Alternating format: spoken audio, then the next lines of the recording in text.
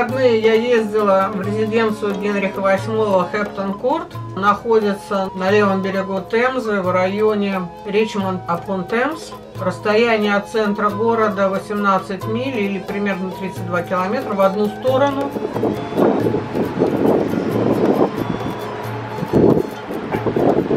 Привет, я в Челси.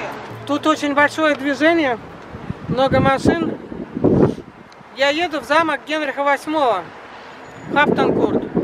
Вот туда, где большие дома. Сейчас через мост и попробую по Темзе по той стороне. Все это должно зачать около полтора часа. Так, вот сейчас на экран я выведу карту маршрута. Так, вот Пимлика.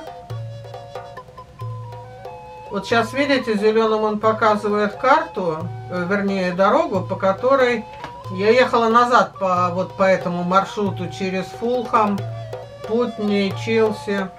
А туда, в ту сторону, к замку, я ехала через... Э, я ехала вдоль вдоль Темзы, мимо Челси яхт-клуба, потом через мост Баттерси по набережной доехала до Макдональдса Вандвордс. Там я чуть не заблудилась, потому что навигатор показывал вообще в другую сторону. Навигатор это вообще отдельная тема. Я через него, конечно, выехала, но только через три часа. Вместо обещанного часа там с копейкой. В общем, короче говоря, навигатор меня вывел на Вимблдон, то есть вот с Вансворца я доехала до Вимблдона, ну поскольку я доехала уже туда, я поехала, сняла стадион, посмотрела теннисный турнир. И оттуда уже я поехала на Кинстон upon Thames, вот сюда, к замку. Ну, собственно, это было первое место, где я присела, так сказать, отдохнуть, задрала ноги вверх, потому что, ну, как бы, устала. Э, я потратила где-то, наверное, часа четыре на дорогу, пока как бы я до туда доехала. Навигатор меня плутал по разным улочкам. Но это было, конечно, прикольно. Я заезжала на какие-то строительные объекты. Я не стала все это выкладывать в видео, потому что тогда, ну, представьте себе, да? То есть я уехала из дома в 10 утра, вернулась в 8 вечера, в 9. Если бы я вам все это сняла, это 10 часов видео. То есть это, ну, совершенно глупость, да? Поэтому, ну, во-первых, у меня кончилась э, аккумулятор в зарядке, поэтому я только сняла маршрут до Кингстон upon Thames, и то не полностью, потому что уже видеокамера не выдержала, я ехала и, собственно, вообще это не так просто ехать и снимать, поэтому надо постоянно все это перезаряжать.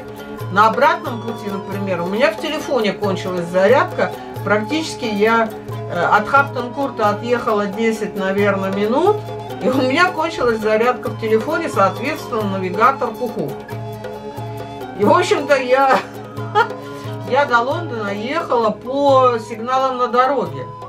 То есть я реально ехала по трассе, где едут машины, а не по велосипедным дорожкам.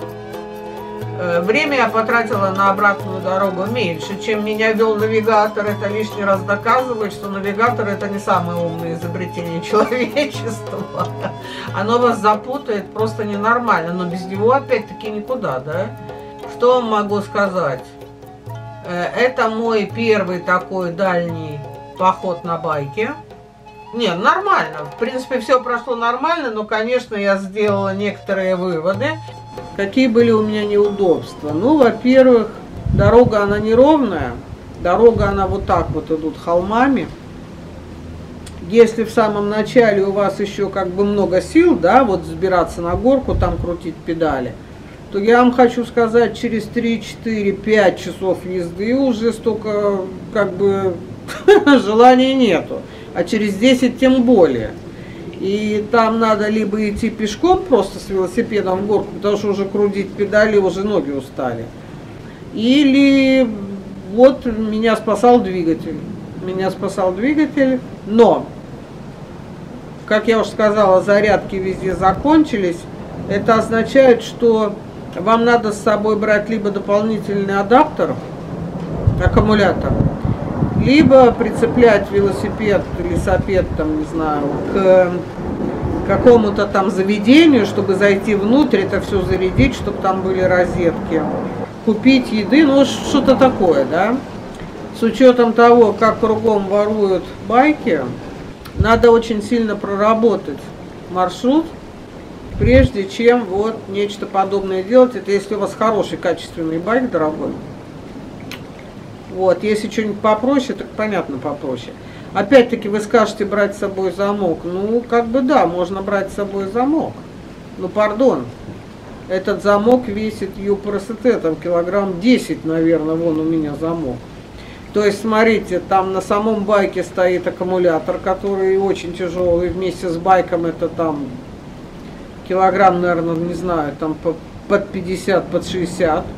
Если вы на него начнете нагружать, на, я имею в виду дальние дистанции, если вы начнете на него нагружать еще э, замки всякие, там воду, воды много надо, конечно, вы же едете, да, то есть воду, допустим, литр, два литра, это еще плюс 2 килограмма, там какие-то бутерброды, еду какую-то там. Я бы вам порекомендовала, конечно, взять с собой палатку, для отдыха, да, если вы идете на дальнюю дистанцию, то есть там, там все-таки надо или какой-то отель передохнуть, остановиться, или, или палатку, потому что, смотрите, если вы едете туда, например, полдня, 4 часа, пока вы там будете гулять, вот я гуляла, например, по набережной, да, пока светло, хорошая погода, потом вы едете назад, приезжаете вы уже затемно, Безусловно, вам где-то надо хотя бы маленько полежать, там передохнуть, потому что ну, тяжело, тяжело для позвоночника, шея затекает. Вот у меня, например, затекла шея, я в Челси на обратном пути, я просто остановилась, легла на скамейку и задрала ноги вверх, чтобы кровь от ног отошла, потому что ну, просто уже болит шея, вы же, по, по, если вы едете по дороге, надо же крутить головой, чтобы никто на вас не наехал и никого вы не сбили, потому что одно дело крутить педали на велосипеде, а другое дело, когда вы едете уже под мотором. Ну вот, ну не знаю, понимаете, чем тяжелее велосипед, я просто к чему веду, тем тяжелее вам будет взбираться с ним в гору, тем быстрее вы устанете, и я не знаю, как вы вернетесь домой к 10 вечера на том же лесопеде, но это надо быть Гераклом просто. Я не думаю, что это очень умный такой. В общем, короче, этот вариант лично я буду прорабатывать, что и вам рекомендую. То есть вот на такие дальние повестки с, с таким грузом, конечно, надо делать остановки в горизонтали, а поскольку вы едете по дорогам и там парки всякие, парки типа леса вообще – то, в общем-то, я не знаю, что, имеет ли смысл вам платить, допустим, 100 фунтов за гостиницу, когда можно просто поставить палатку, завалиться и там перекусить, полежать, дальше поехать. Ну вот как-то так. До следующего раза. Пока-пока.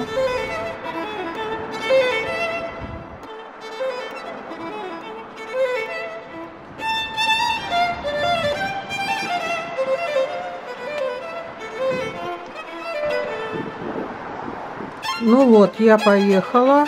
Сейчас я вам проведу небольшую экскурсию по маршруту. Конечно, я очень много сократила. Ну, в общем и целом понятно, как и где я ехала. Сейчас вот э, я въезжаю в район э, Риверсайд. Это э, район на набережной Темзы под названием Уонсворт Риверсайд Квартал. Э, район расположен на берегу Темзы и является одним из самых популярных мест на юге запада Лондона. Темза является постоянным источником очарования.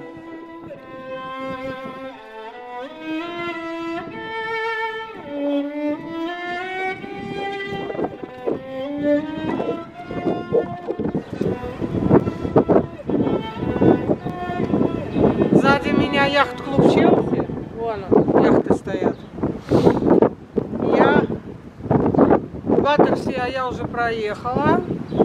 В общем, сейчас буду по навигатору искать дорогу к замку Генриха VIII. Всю дорогу снимать вам не буду, потому что ни пленки, ну, памяти не хватит на memory card, ни адаптера. Так, периодически буду останавливаться, снимать. Потому что мне сейчас интересно первый раз доехать. По навигатору дорогу показывает только чуть-чуть Баттерси вдоль Темзы, а потом идет вот так вот по городу. А мне хочется вдоль Темзы прям проехать. Посмотрим. Район лондонского района Уонсворд ранее был терминалом Shell Oil площадью 4 гектара, а впоследствии промышленной площадкой. Раньше приливы Темзы заливали берега. Со временем бывшая промышленная площадка была реконструирована примерно в 2009 году. Провели земляные работы, удалили грунт, репрофилировали берег и устроили строительную площадку, построили вот эти вот современные здания. Это жилая и коммерческая недвижимость. Квартиры отделаны по высоким стандартам с использованием качественных материалов отделки. Ну, конечно, это все не э, недвижка средневековая, которая простоит 300 лет. По-моему, у них срок годности, кажется, лет 70. Тем не менее, э, квартиры продаются тут под э, лисхолд. Лисхолд – это длительный договор аренды на 997 лет. Стоимость квартир – Одна студия стоит от 600 тысяч фунтов, и двухкомнатная квартира примерно до миллиона фунтов плюс-минус. Я сейчас заезжаю на стоянку Макдональда, буду думать, как ехать дальше.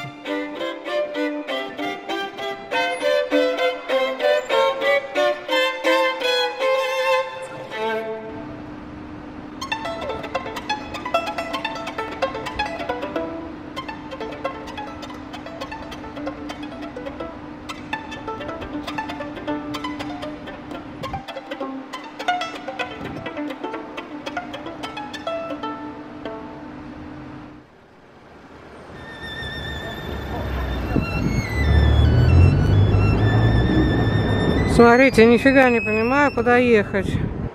А, теперь понимаю. Я вот тут, на Вансворд.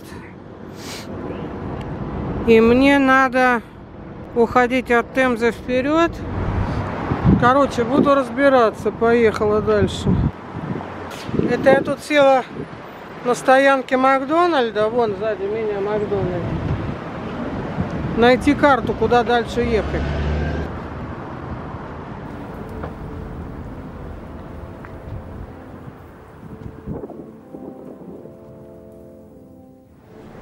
Я еду по району Вансворд, один из центральных районов столицы Британии, часть внутреннего Лондона. Территория примерно 34 тысячи квадратных километров, население примерно 300 тысяч человек.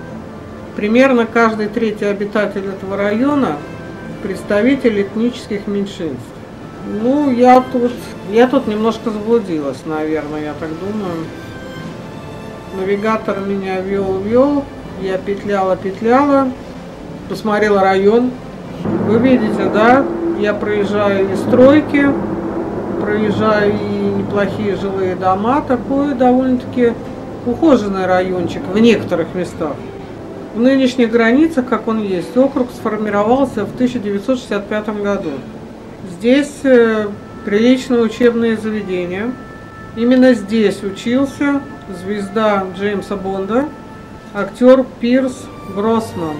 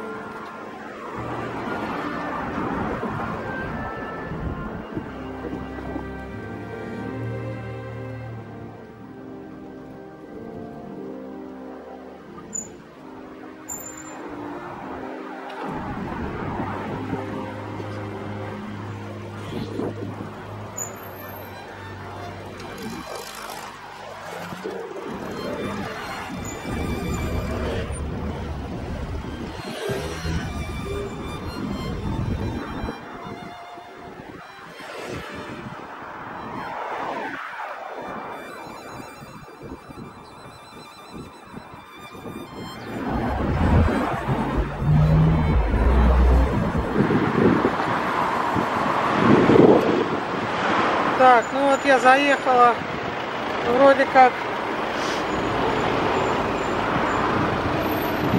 вроде как я заехала в Кутный и сбилась дороги, мне так кажется. Сейчас по навигатору буду смотреть.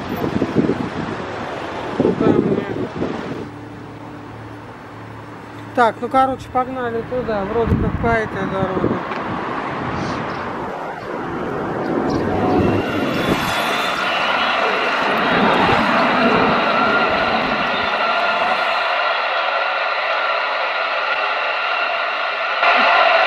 Can I just say hello, Wimbledon?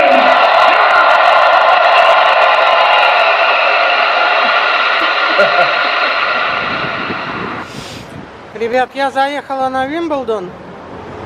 Сейчас вверх ехать тяжело. Решила пройтись пешком. Вон туда. Вот там парковка Вимблдона теннисного турнира. Короче, сейчас сниму вам.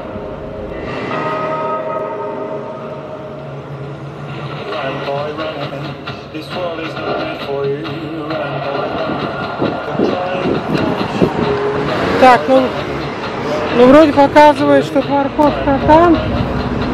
Где стадион, не знаю. Ну поехали посмотрим, поищем.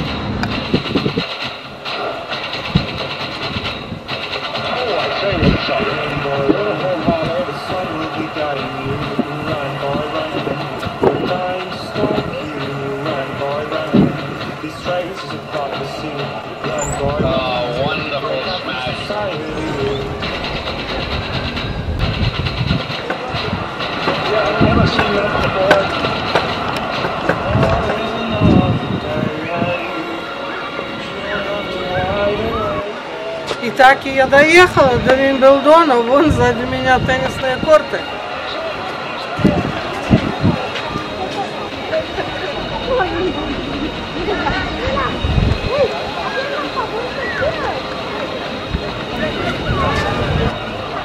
Ну что я вам скажу, вы видели, да, с, посетителями, с посетителями Хила на турнире. Видимо, когда королевская семья присутствует, там много народу. А сейчас вот я вам камеру приблиз- приблизила к тем кортам, где идут соревнования. Очень мало зрителей на трибунах, очень. Ну, Кейт уехала вчера на ковид-карантин, пока она сидела, смотрела э, Вимблдон.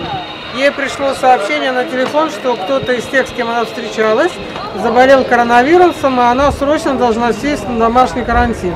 Вы видели, играют дети, кто-то в футбол, ну такое. Ладно, попробую сейчас найти дорогу к Хаптенкурту, э, ко дворцу Генриха VIII, куда, собственно, я и ехала. Это я сюда заехала так, по дороге.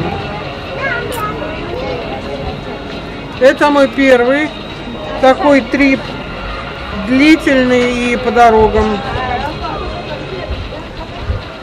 Поэтому, я думаю, водители безумно рады. Пишет, остался час езды, типа по прямой дороге.